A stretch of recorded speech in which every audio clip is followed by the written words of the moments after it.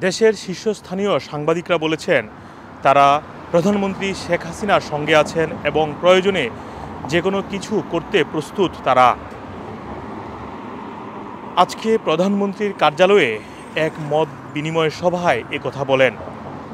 প্রথম আলোর খবরে বলা হয়েছে, দেশব্যাপী নাশকতা ও নৃশংসতা ঘটনায় কোনো অপরাধীকে ছাড় না দেওয়ার দাবি জানিয়ে দেশের বিভিন্ন গণমাধ্যমের সম্পাদক সিনিয়র সাংবাদিকরা কোটা সংস্কার আন্দোলনের আড়ালে জামাত বিএনপি কর্তৃক সংঘটিত ধ্বংসাত্মক তাণ্ডবকে ব্যর্থ করতে গোয়েন্দা প্রতিবেদন বাস্তবায়নের কোনো ব্যর্থতা ছিল কিনা সে ব্যাপারে প্রশ্ন তুলেছেন।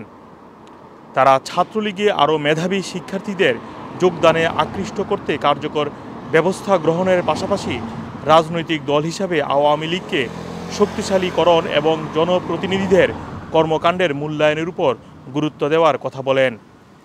এডিটর্স গিল্ডের উদ্যোগে এই আয়োজনে বিভিন্ন গণমাধ্যমের সম্পাদক, সিনিয়র সাংবাদিক ও হেড অফ নিউজ উপস্থিত ছিলেন।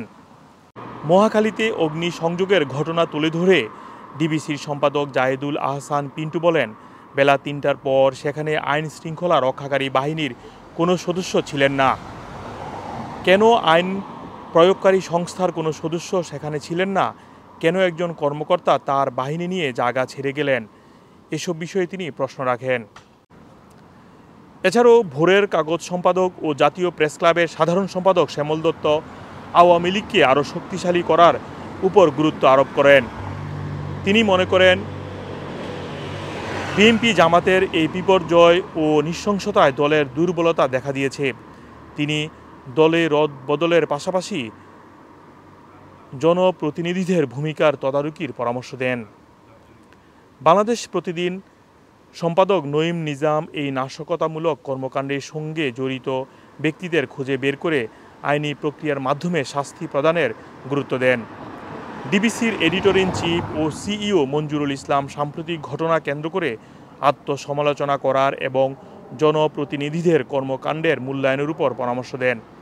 আবেদ খান বলেন, তারা প্রধানমন্ত্রীর সঙ্গে আছেন এবং প্রধানমন্ত্রীর প্রতি আস্থা ও বিশ্বাস থাকায় তার জন্য যা প্রয়োজন করতে তারা প্রস্তুত।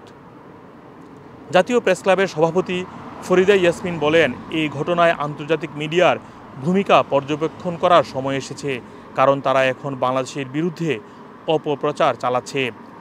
প্রধানমন্ত্রীর প্রেস সচিব মোহাম্মদ নাইমুল ইসলাম খান অনুষ্ঠানটি পরিচালনা করেন এবং স্বাগত বক্তব্য দেন এডিটর্স গিল্ডের সভাপতি মোজাম্মেল হক বাবু। এছাড়াও বিবিসির খবরে বলা হয়েছে, শিক্ষার্থীরা আলটিমেটাম দিলেও শীঘ্রই খুলছে না শিক্ষা প্রতিষ্ঠান। জানালেন শিক্ষা মন্ত্রী মহিবুল হাসান চৌধুরী। তিনি জানিয়েছেন, পরিস্থিতি আরেকটু স্বাভাবিক হলে সবার আগে উচ্চ মাধ্যমিক ও এসএসসি বাকি পরীক্ষাগুলো আয়োজন করা হবে। এরপরেই খুলতে পারে প্রাথমিক বিদ্যালয়।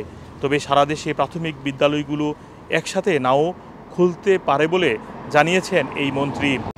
আপনারা জানেন বাংলাদেশে কোটা বিরোধী যে দাবি উঠেছিল বা আন্দোলন হয়েছিল, তার প্রেক্ষিতে বাংলাদেশে এখনও কারফিউ চলছে। তবে কখন এই কারফিউ সম্পূর্ণভাবে উঠে যাবে, তার এখনও কোনো নিশ্চয়তা নেই। মোহাম্মদ আব্দুল হান্নান টুই নিউজ, যুক্তরাজ্য।